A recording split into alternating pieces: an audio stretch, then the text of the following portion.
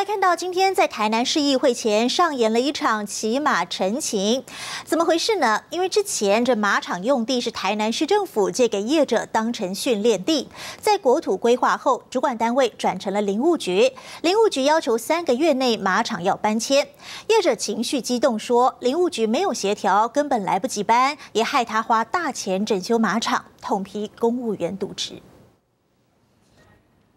台南市议会前一大早来了六匹大马，四匹小马挡在大门口前，画面相当引人注目。而其实他们是来陈情的。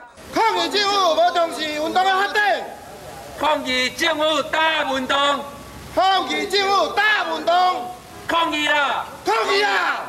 业者拿出土地所有权同意书，表示十多年前在台南余光里的马场是由台南市政府借给业者作为训练场地，但在国土规划后，土地所有权转为林务局所有，而新的主管单位则限业者要在三个月内搬迁。伊连来讲都无讲，伊直接把我送我年，送讲我轻贱，对啊唔对？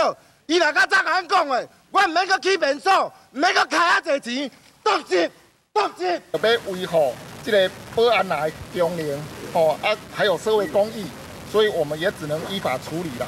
那因为整个案子规案件吼，目前拢以在咱地检署搁咧侦办中。